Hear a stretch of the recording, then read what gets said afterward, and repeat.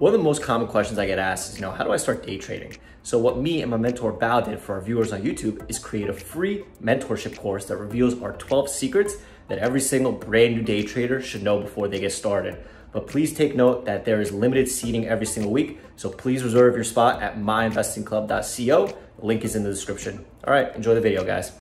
What's up guys, it's Arias here, and today I'm just going to be kind of going over some trade recaps and a VWAP reclaim lesson. Um, I realize it's been kind of a little bit since I did a video, but we did have the podcast, and I did do a video right before that. And I mean, this week for the most part was really pretty slow.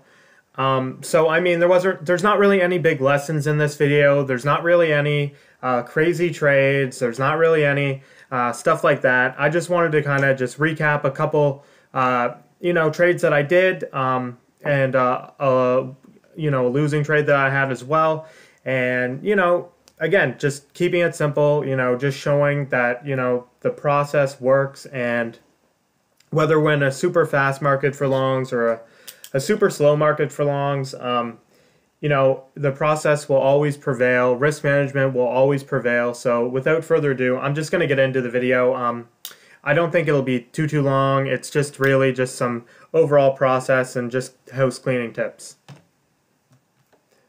Um, so this one BLRX, this is one from Friday. Um, I ended up I ended up kind of making a plan on it and saying, okay, what line do I want to pick that could trap shorts the most? Um, in the morning, I didn't really want to long it, and the reason why, um, unless we had a really clear break over 130, which we really didn't, I wasn't really interested in it. And I kind of said that in the morning, like over 230, could we could have some fireworks, but you know, in my opinion, a lot of short sellers were kind of afraid in this area, so I didn't really want to go long there because I knew that we didn't really have that many people uh, trapped, and also, you know, we didn't we we didn't have anyone trapped up here. We were super super strong. We were strong, but we weren't like moving higher. And I mean, for me, I was just saying uh, it wasn't a it wasn't an area that I was really looking for. Um, so I just kind of let it be. We kind of came down to this area um, and I was just kind of using kind of the pre-market chart as a guide. We started kind of moving up a little bit. I took some at 212 and we had this kind of VWAP test here and I kind of expected this to reject and I was either going to sell on a pop or just stop out for a loss but we ended up just getting super super strong here. Some volume just came in and we we tested this kind of 240 level again. There was a seller at 240 everyone was calling him out in chat. So I mean I was out at 236 and I mean this is a pretty straightforward trade Obviously, it did zombie later, but I mean, this week was kind of an exhausting week, and it wasn't necessarily because of losing or anything. It, it was just it, it was just a choppy week. Um, I was just tired. The seasons are changing. Um, I'm like a little bit under the weather, like kind of not feeling well. So I'm just taking the small scalps as they come, and I mean, I'm not really worrying about anything else. Um, this is one that, um, you know, it was it was a pretty pretty good one, and I mean you can't really complain at all. Um, just pretty pretty straightforward price action, and um, yeah, I ju- was just really playing kind of under VWAP where I thought some FOMO shorts would short. I mean, everyone who's short is afraid to short into this action. They see this kind of candle, they start going short, hoping for it to be a fader. Um, kind of price action starts reversing. All these people are forced to cover. We kind of get higher, and that was really my idea on it. Um, with this one, MGI, again, um, these two were kind of running simultaneously. Um, this one, I saw, by the time I saw it, it was kind of 575, and, you know, I, I didn't really want to chase up there. I said, you know, if this goes, it goes without me. I mean, I'm at a point now in my career where I just really don't care. And I mean, I think that that serves me serves me super super well because I really don't care if this goes to seven or eight or nine. I, I realize that I can either get a small scalp with this one or I can just catch the next one. But honestly, I really don't care. Um, you know, it, it can go without me. So basically, we kind of we kind of moved higher. We got this kind of candle, and I expected this to kind of fade. I mean, after you see a candle like this, you need to expect that this stock is going to fade and that it's going to be done, and that you know you shouldn't be longing it. But again, we get this kind of consolidation under VWAP, similar to my BLRX trade, where you know, a lot of people play it kind of by the Bible, where they're like, if it's under VWAP, I want a short. I want a short only under VWAP. But unfortunately, in a scenario like this, um, you're kind of longing into a first bounce scenario. And we see the kind of first bounce friends area right here. And I didn't go long right away. I kind of waited a little bit uh, for this to kind of get a little bit kind of higher. And, um, you know, I, I, I knew that we probably needed to test VWAP and then come back down, and we kind of tested it here. We came back down. We should have definitely went below here, but we didn't. We held on, so I was like, okay, I'll just take some kind of risking this low. It's pretty low risk risk reward. I mean, for the most part, like you're not really risking that much on a on a play like this. So I mean, I just said, you know what, I'll take some, and uh, we ended up kind of moving higher. Once we get over VWAP, you know that this is kind of the shorts shorts are, are underwater after they shorted under this candle for sure if you wanted to you could have probably bought some over VWAP too just basically saying i know that a lot of people were short underneath VWAP they're going to get trapped and i mean this ended up kind of moving higher up into high day i ended up getting out at like 7 8 um, I know I sold some up here. I, I, waited a little bit because I said, listen, this could, you know, potentially test high day, could potentially go over. So, I mean, I ended up just selling the rest up here and then it ended up fading. But, I mean, this is another key, key trap scenario where this should have went lower. Anytime something should have done something and it just does the opposite, it's usually a great long trade. I've had discussions with a ton of long traders across the board where if we get a death candle and we start grinding higher, that shouldn't do that. That should just make a new low almost immediately in the next, especially in the next five minutes. And in this type of scenario, again, we're kind of grinding underneath VWAP, grinding underneath VWAP. And you know all the dumb short sellers are just shorting weakness, shorting weakness. And um, I mean, we ended up stopping them out. And I think the key was definitely this candle where we kind of, we tried to go higher, we couldn't. But also, it's another one of those kind of bait, fate stuff moves where, um, you know, I mean, that was just about it for me. It's pretty, pretty. Uh... Hey guys, my name is Tosh Bradley. I'm one of the head mentors and moderators at My Investing Club. If you have any questions about getting started in trading, getting started in MIC, MIC in general, text me at 213-458-5997. This is not a robot. It is me directly on the other end of my business line, and uh, we'll get you in the club. We also have special promotions going on that I can get to you depending on your trading needs. Hit me up. Back to the video. Just process trade, and I mean, uh, on to the next one. UUU, this one was a very, very tricky one. Um, in the morning, I, I didn't want to long it because I knew that there were a lot of chat rooms, there were some pumpers involved. Um, I don't really like buying into strength by any means at all. Uh, the weakness gives me great risk reward and it also allows me to be patient. I was watching this line, this line, and this line. Uh, we ended up kind of getting down here, again, consolidating underneath VWAP.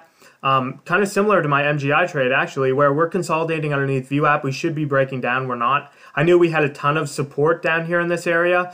Um, we ended up kind of coming higher. Um, you know, I was just kind of selling up here. We ended up kind of going lower again. Um, and it's more so that like obviously there was a buyer down here at this uh, in this kind of 425 area. I never got 425 exactly. I tried to short or I tried to long, sorry, as as low as I could towards 425, but um, it was really a jumpy type of price action. And when it's super jumpy, I don't mind going 10 cents higher and just saying, okay, I'm just going to risk the 425 area. So basically, I was just kind of longing, selling into pop, longing. Obviously, this should have definitely broke the support area. It didn't. You know, longing. This should have broke down as well. Longing and just kind of just selling into the pops. And um, Obviously, this should have broke high a day. It didn't. I was a little bit upset. I had a target for kind of over high a day, but when we couldn't, you know, I knew that I had to probably take some off. Um, and then, um, and then over here, just kind of uh, was longing it again. I ended up getting stopped out for like, you know, not not a terrible loss over here, but I mean that's just it. Um, obviously, you're going to have losses, but you just got to really keep them manageable. I did go long Pola during this as well because I really didn't expect this to kind of keep going, but you know it did. Um, you know, so I kind of got went long Pola in between. I didn't I didn't post the Pola chart because I mean Pola was another one where it's just like kind of up down up down up down. So I mean that was really about it. Um, not really uh, not really anything crazy, and uh, yeah, just you know sticking to process again. I'm not going long into strength. I like I think you guys need to remember that like you know, do not go long into this this pump action, this strength. That's garbage to me. Like I'm just gonna wait. I'm gonna wait for my kind of non FOMO support lines down here. If we keep going to seven or eight, that doesn't matter. I've missed it. I'm out of it. That's okay. Um, I knew that this one was going to be a choppy one, even just looking from the price action around here. You know, it's just a choppy, choppy trade, and it's something that you know I, am really not interested in in in in fooling around with stuff up here when we have the pumpers involved and everyone involved. I'm just going to wait for my kind of non-FOMO lines, and that's really about it. Um, GRIL again. This one's kind of. Uh, uh, a scalp trade. I ended up taking it kind of around here, I believe, and we were just kind of grinding higher. I mean, I didn't. I, I, I don't think I went long and around here. It, it it came back down, and I mean, after we get a candle like this, we should not be back at VWAP, guys. Like we should not be back at VWAP. And again, tries to wash out, tries to go lower, just couldn't. So I took some uh, and just sold up into five eight. And I mean, that was kind of it. This was kind of my, my target or kind of this line as well. But I mean, once we had some chat room pumpers getting involved with it later in the day, once we had some, you know, longs starting to chase, we had some shorts who were kind of stuck below VWAP that, that kind of got forced to cover. Um, especially, it's kind of hard after you maybe have an average of underneath VWAP underneath here, you get this candle, and then the stock starts going against you. I mean, that sucks. But I mean, what can you do? Stock rebounds. We're kind of in a nail and bail market on both sides. You know, especially after we kind of get up here, there was a bunch of a bunch of sellers kind of up here. I'm just selling with the sellers. And I mean, that was really about it. You know, it's just process, process. I'm not I'm not fooling around with the strength over here. I would rather it come back down and, you know, get it on kind of the reclaim type of area, type of setup. And that was just what I was kind of looking for. Um, so this is something that I really wanted to try and uh, talk about because this is one of the the key things that I have been getting a question about. This is something that everyone keeps asking me about is how do I like to trade these VWAP reclaims? And um, I think that uh, there's a lot of people who like to buy the strength into the reclaim, but I don't really like to buy the strength into the reclaim. And uh, this is kind of why. So basically, as you see from underneath here, um, I don't really have any trades above VWAP. Um, I don't have a trade above VWAP here. I don't have a trade above VWAP here. I don't have a trade above VWAP here. And I don't have a trade above VWAP here. Now, why would that be? Why is that? Well, the reason why I don't have any trades above VWAP is because you can look. I usually kind of tend to sell above VWAP, right? I'm selling above VWAP here, selling above VWAP here. I'm selling above VWAP in all these scenarios except for when I got stopped out. I'm selling above VWAP here. And so why would I want to sell above VWAP into that strength and, and kind of anticipate the reclaim? And I mean, there's a couple reasons. Number one is that I know that short sellers have VWAP as the ultimate risk. If you're short under VWAP, you know that when it gets above VWAP, you're kind of trapped or you're kind of stuck. And so what I like to kind of do is I like to kind of hedge my bet a little bit.